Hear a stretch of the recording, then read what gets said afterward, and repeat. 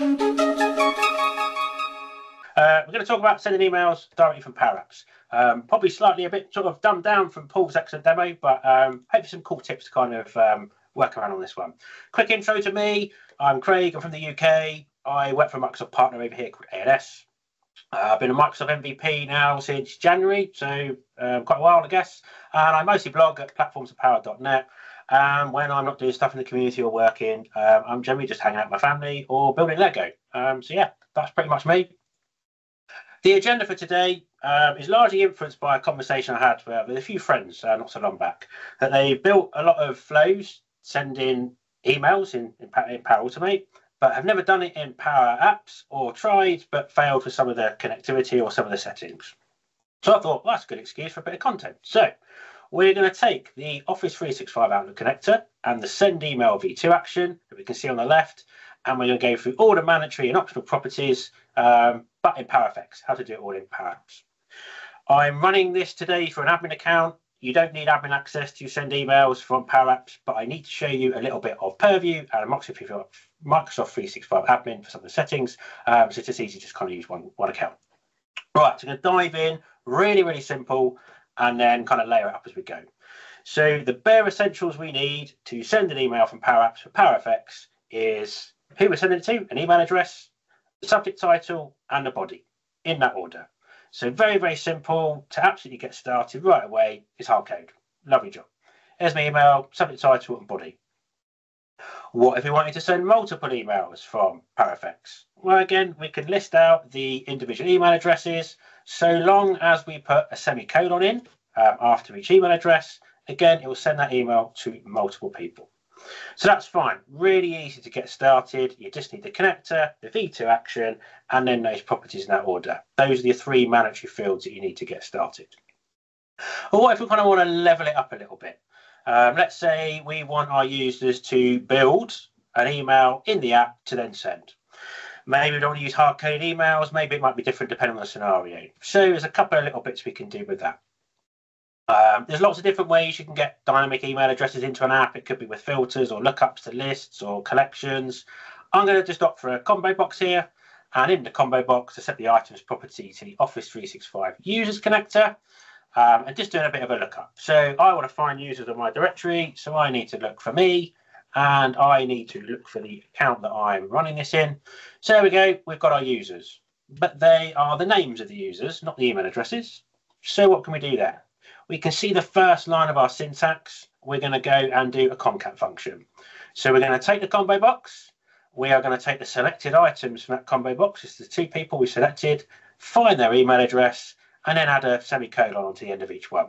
As per the previous example, we need that if we've got multiple addresses.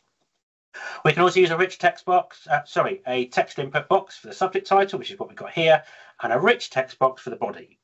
Now you can use a text input control for the body and you can set the text property to multiple and it looks nice in the app when you type in it's got spaces but when you send it um, it comes out all flat and a bit rubbish in, in the Outlook side. So rich text editor control is the way forward. If you want people to type with a nice bit of formatting, line spaces, everything else, and we want to point to the HTML text property of that specific um, that specific control.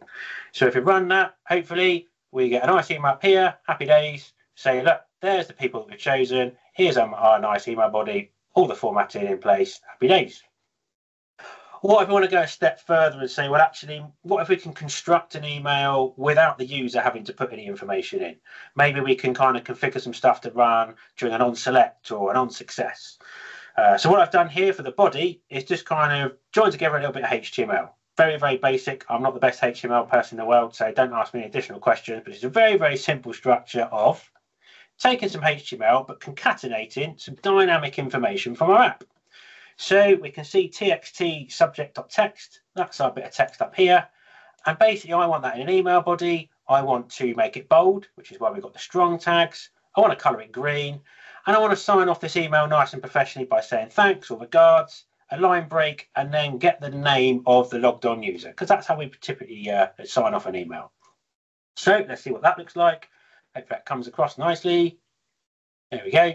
So again, here we go. Again, it's picked up the dynamic references. It's taken that content and formatted it as expected, and it's dynamically picked up the logged on user to sign that email off in a professional way. Happy days. And that's kind of like the main bits your to, your subject title, and your body. And there's loads more you can do with that, injecting tables or other ways you can kind of get the user information. Uh, but those are the three essential bits you need to get started. We're now going to dive into some of the sort of optional properties, if you like. Um, I'm going to start with CC and BCC. I think we've all been around long enough using emails to know how these work. So I'm not going to kind of demo this one, but you can use one or both properties if you need to CC any additional email addresses in. And again, these could be hard coded or taken from other sources, but the options are there if you want to use them. You just need to start uh, with some additional curly brackets and then pick one of the selected properties. Start typing in CC or BCC, and then it will give the option to start configuring. We can do importance as well. So you might see emails come across of high or low importance. Normally in Outlook, we can do the same thing in the Power Platform as well. Um, you can opt to have importance of normal, but that's the default of an email in any kind of email client, really. So you only really need this additional part of the syntax if you want to overstate or understate an email. So importance equals high or importance equals low. And again, that will come over as expected, either for low with the downwards blue arrow or we've got the red exclamation mark if it's going to be high importance. Very, very simple to set up, very, very easy to use. The next one, just to touch on, will be the reply to property.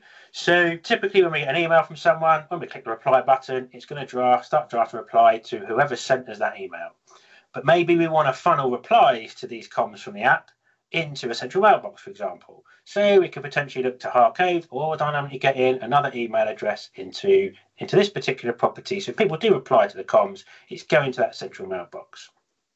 It's important to note at this stage that you do not need any special permissions to the mailbox you're specifying in reply to. You can put any old email address on your domain or even in a different domain if you really, really want to. Now I state the permission side of things because for the next property is the from property where we do need some additional configuration and we walk through that in a second. So if I want to send an email on behalf of or as another account, I need permissions in Microsoft 365 admin to actually do that. If I haven't got those permissions, I will get an email, uh, an error when I'm trying to send an email from another account where I haven't got access. It says I'm not authorized to send emails on behalf of that account. Okay, so how do I get access? Well, if you've got access to Microsoft 365 admin, um, you can do it yourself. If not, you might have to speak to the person who does. But essentially, in M365 admin, we can go to users, active users, find the account we want to send emails as or on behalf of, click on the mail property, and we've got these options here send as permissions or on behalf of. And we can add the individual users in there to give permissions to send on behalf or as these other accounts. You can do the same thing with shared mailboxes. That's also in here teams and groups, shared mailboxes, same process. Um, so let's have a look at how that works. So we can see from our mailbox and demos at the moment, we've got emails from Ecosystem Admin, which is my current account, but actually we're now sending this as another account and we can see the no reply. So we know that that's worked and we've got permissions. So that's that one. Happy days. Um, attachments. This is, I don't know if it's a little bit hacky and if there's a better way, someone please do shout in the chat. Um, but essentially to get the attachments control, I've added a Dataverse table. You can also add a SharePoint list. That's not a problem. Um, added a form control, cleaned everything out apart from the attachments, just so I can attach a couple of files and then use the syntax you can see on screen to send an email with attachments.